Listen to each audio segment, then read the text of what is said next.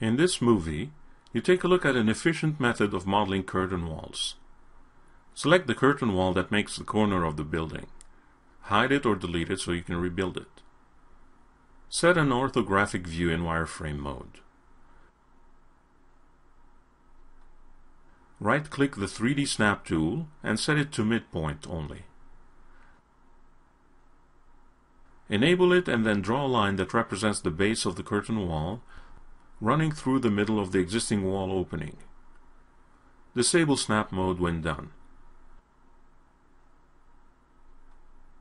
Extrude the line you created to fill the opening.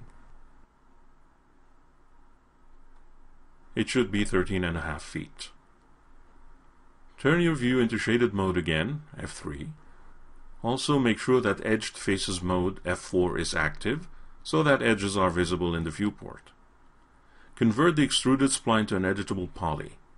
Next, you start subdividing it to help with the creation of mullions.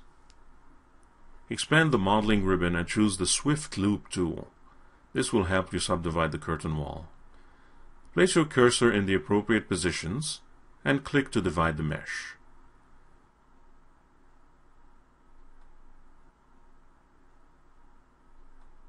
To divide a set of edges directly in the middle, use the Connect tool instead of Swift Loop. Select the set of parallel edges and then click Connect. Once the basic divisions are done, it is time to give the mullions a width. In Polygon Subobject mode, select all polygons except those that make the corner column.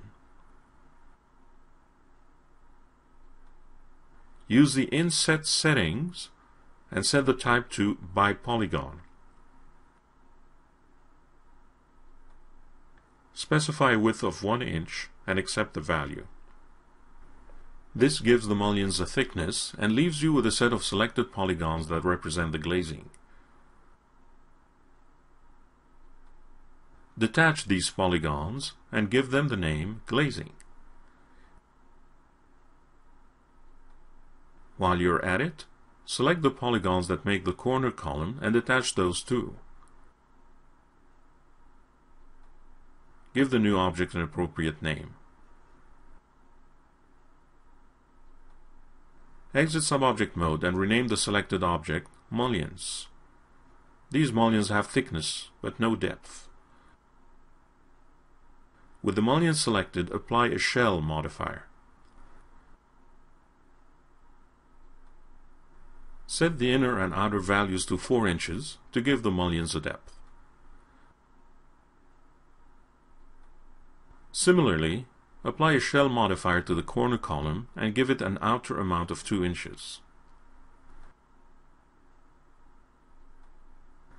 Take a look in the top view and notice how the corner column is slightly deformed.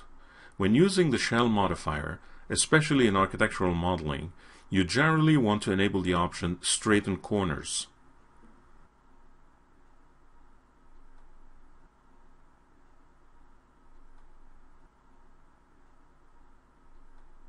Finally, do the same for the glazing with very small inner and outer mounts.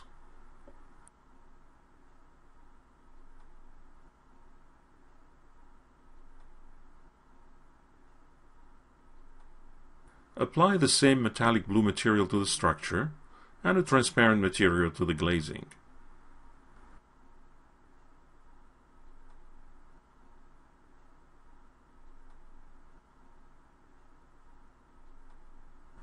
At this time, the shell modifier gave you a basic inner and outer extrusion to the mullions.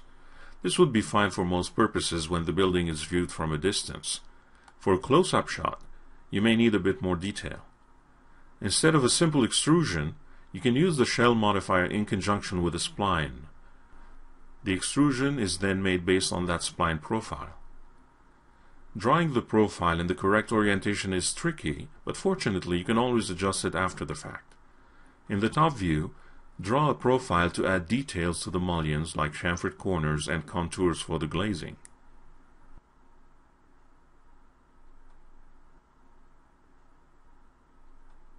When done, select the mullions and in the shell parameters, enable bevel edges.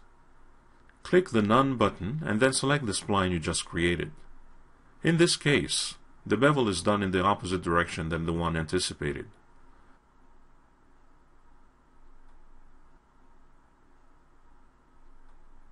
Select the profile once more and go to Spline subobject mode. Select the spline and mirror it horizontally to get the required effect. For linear shapes like curtain walls, you may want to add a smooth modifier to the top of the stack.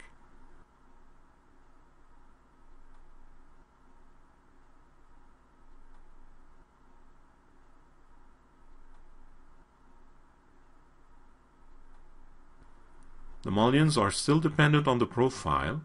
You can add more detail to the profile and see them update on the mullions.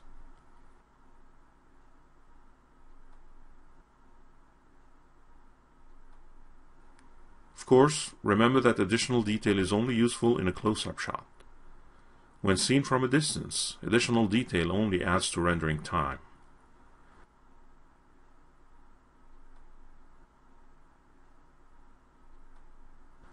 In this three-part series, you learn different methods to model architectural metal. We hope you find these techniques useful.